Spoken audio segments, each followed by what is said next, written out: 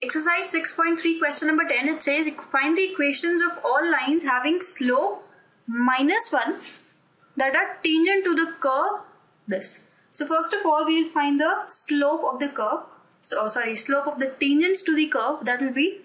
dy by dx equals to minus 1 by x minus 1 ka whole square. Now this is given to be minus 1. So we have x minus 1 का whole square equals to 1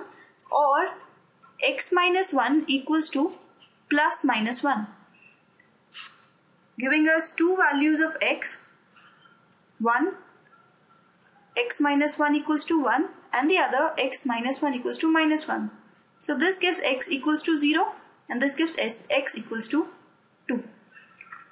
so corresponding uh, correspondingly values of y are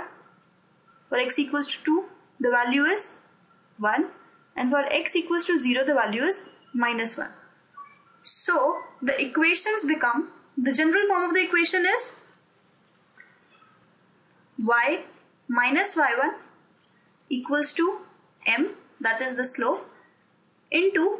x minus x1 where y1 and x1 is a point and m is the slope. So for the first equation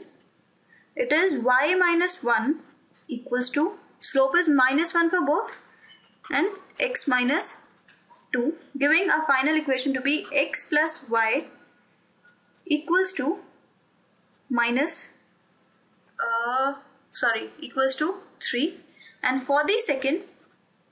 it is y minus